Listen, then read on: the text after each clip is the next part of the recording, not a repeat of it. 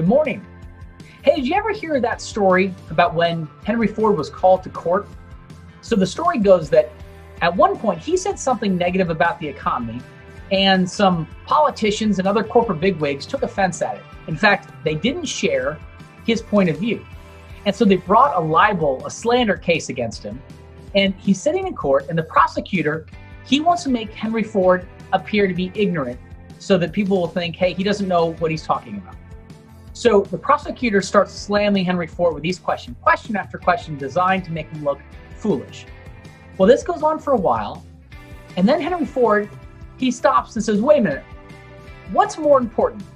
That I have firsthand expert knowledge of every question you're asking me, or instead, up in my office, I've got a board with over 200 buttons, and when I need an expert answer in an area, I just click on a button, and within three minutes, someone can come in and give me firsthand expert knowledge on the subject on which I'm seeking. What's more important? Well, that stopped the prosecutor, floored the judge, and the courtroom was silent. Henry Ford was a jack of all trades, and you've probably heard the expression jack of all trades, master of none.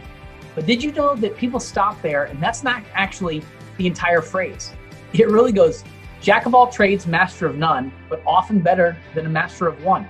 Hey, Henry Ford, the reason he was so successful is he had a vision, but he knew he couldn't do the whole thing himself. He surrounded himself with excellent people who were experts in their field. As entrepreneurs and as business owners and as business leaders and as team leaders, that's the kind of thing that you should do. You can't be an expert in everything, nor should you be.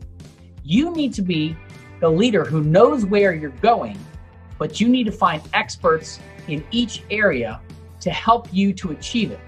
What is it? Team together, everyone achieves more, right?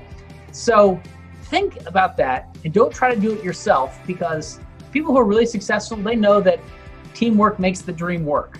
That's enough cliche today. This is Andy Larson, Charleston's Connector.